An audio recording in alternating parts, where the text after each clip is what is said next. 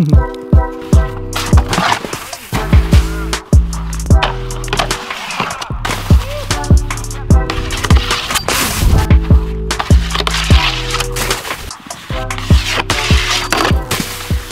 Bandom išnaudoti paskutinį sniegą, susikasti iš kur eina. Bandom kuo daugiau spotų dabar paimti, nes e, sniegas tirpsta ne dienomis, o minutėmis. Mūsų tempas ypač e, spartus, varom kiekvieną dieną, stengiamės išnaudoti paskutinį šansą, paskutinės progas, prifilminti kažką dar į filmą.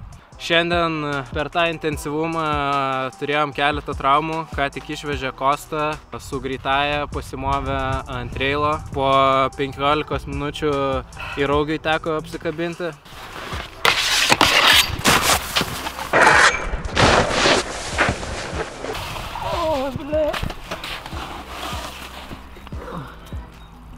Jasne.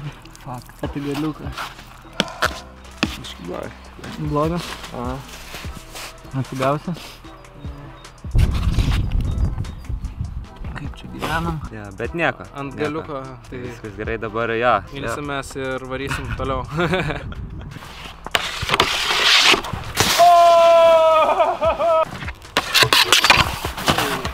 Ui, čia. Sveikinu, sveikinu, sveikinu kolega. Pirmas reipukas ant šiukšlės. Didžiąją dalį žiemos Lietuvoje praleidau, nes su motėjom buvom išvarę į kalnus, į varžybinį turą. Todėl grįžus dabar varom filmuotis 4-5 dienas per savaitę. Tikrai didelis krūvis kojytėm. Kartais dvi dienas iš eilės e, varom filmintis dropų. Pirmą dieną dar viskas gerai, jau antrą dieną nieko nelendinė visiškai, nes nėra nėra parako, bet e, judam iš visų jėgų, stengiamės kuo daugiau šotų prifilmint. Tikiuosi, galtinis variantas bus geras. Paskutiniai spotai buvo rimti, dideli dropai buvo, kažkaip atlaikėm, ar ne? jo. Gavom vinčą ir su vinču atsirado galimybė paimti e, rimčiausius, didžiausius spotus realiai. Nacionalinės dailės galerijos dropą ir sporto rūmų stair gapą. Visi žiūrių pridarė, ypač Jonas.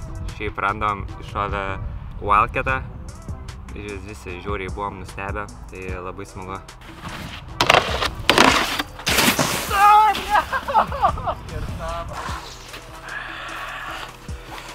Nenumausiu daugiau.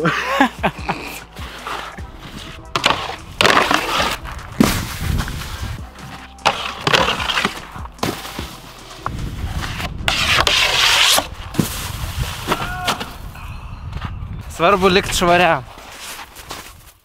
Šiais metais Buvo. žiauriai. Smagu.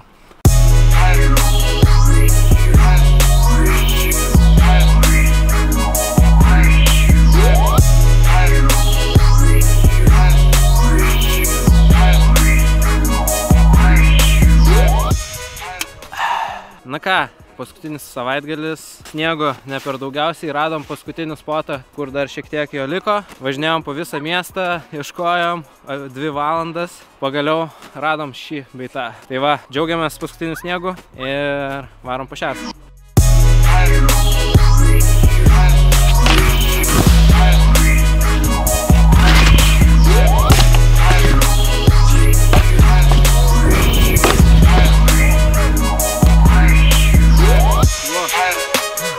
Liktai viską atleido. A! Masažiuko šiaip reikėtų.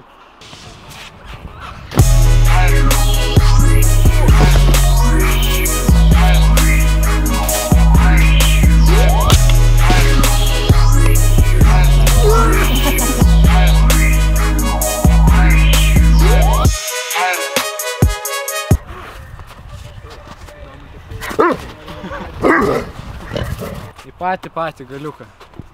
What?